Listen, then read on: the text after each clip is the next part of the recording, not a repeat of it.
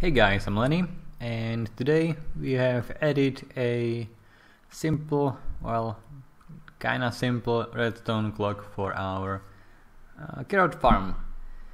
After some testing, we have chosen this setup. I mean, we've tried uh, hoppers to just transfer items in between them, but that was too difficult because you need to control which hopper is allowed to well transfer stuff and this dropper design is way easier than what we could come up with with those hoppers. So um, it's a fairly simple design. This clock is set up to like roughly one second and it keeps ticking and it keeps ticking and it keeps transferring the signal through this block.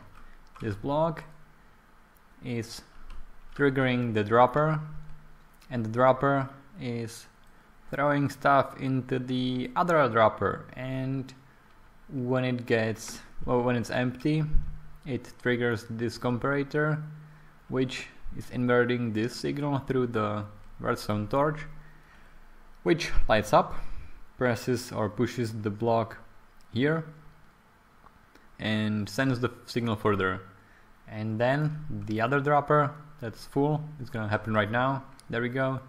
Starts ticking down moving stuff moving items into this dropper and the whole system is just running again and again. When the tick or the signal comes from here that's what I call a tick. It's around one minute. When that happens it triggers the same system here but this system is set up to like uh, 50 minutes uh, enough time for the carrots to grow. Oh, sorry, um, I just finished eating, and um, when it ticks, it goes into this weird loop. Um, it's not a loop actually.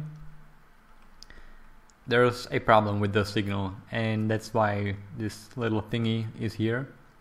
When this ticks, when the signal comes out, it's a like stable signal. It's not a pulse. And that's a problem. This system helps to convert the signal that comes out into a pulse. Now this thing, I'm still not sure how it works. I kind of feel that this works like an AND gate maybe in this case.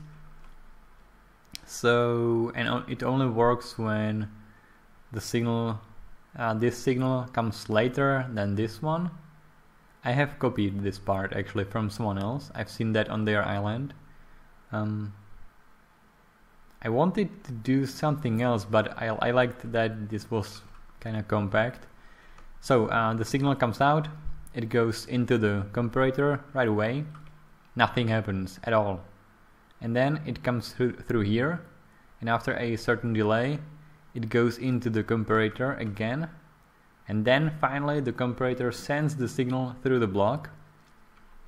It goes directly to the farm which triggers the dispensers uh, to release the water. And then it goes onto this loop that's set up to wait like 10 maybe maybe 12 seconds to just delay the signal and when it comes back into the droppers, into the dispensers, it sucks out the water out of the farm. Simple, easy, pretty large. Um, yeah, it's really, really big. Pretty much anything you want to do in vanilla is gonna take a lot of space. You cannot create clocks with just one block and such. Yeah, modpacks kind of rock in that regard.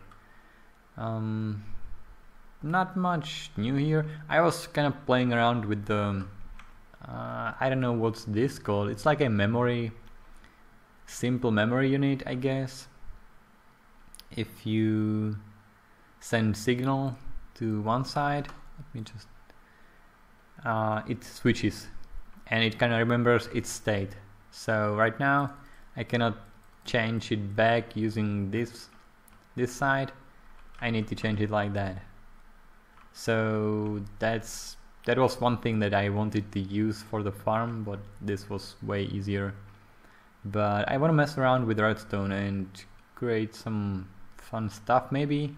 I'd like to create something that's gonna make me money, but so far from what I can see, the simple stuff is good enough.